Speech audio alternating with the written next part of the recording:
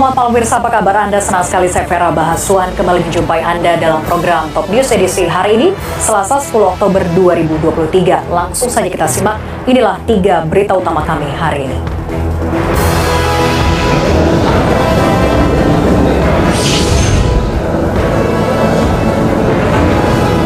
Satreskrim Polrestabes Surabaya melakukan proses rekonstruksi kasus penganiayaan oleh anak anggota DPR RI, Ronald Tanur, kepada kekasihnya Dini. Namun motif penganiayaan yang menyebabkan korban tewas tersebut masih menjadi misteri.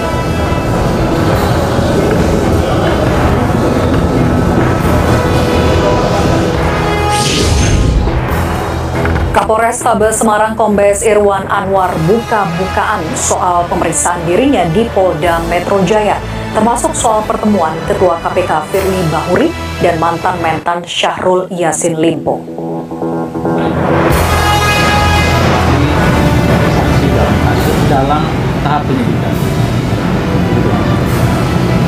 Pertemuan dengan SCL dan Pak Firly memang betul, Pak?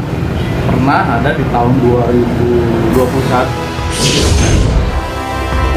Perserikatan Bangsa-Bangsa atau PBB menegaskan bahwa pengepungan total yang sedang dilakukan Israel terhadap jalur Gaza dilarang berdasarkan hukum internasional.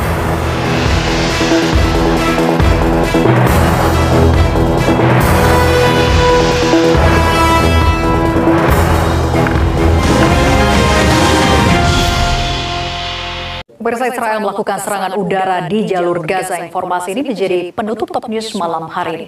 Saya Farah Bahasuan mewakili teman-teman yang bertugas pamit undur diri. Terima kasih atas kebersamaan. Sampai jumpa.